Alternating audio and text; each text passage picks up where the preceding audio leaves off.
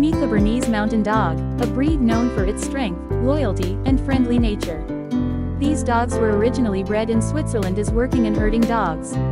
Bernese Mountain Dogs are known for being great family pets and are especially good with children. They're also known for being friendly and outgoing. Despite their large and muscular build, Bernese Mountain Dogs are known for being calm and relaxed indoors and make great companion dogs. They are also known for being loyal and affectionate towards their owners.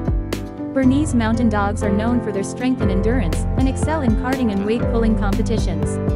Bernese Mountain Dogs are a large breed, with males reaching heights of up to 25 to 28 inches at the shoulder and weighing up to 80 to 115 pounds. If you're looking for a strong and friendly companion, a Bernese Mountain Dog may be the perfect breed for you. With their loving nature and trainability, they make great family pets. Thanks for watching. Don't forget to subscribe for more videos on your favorite breeds of dog.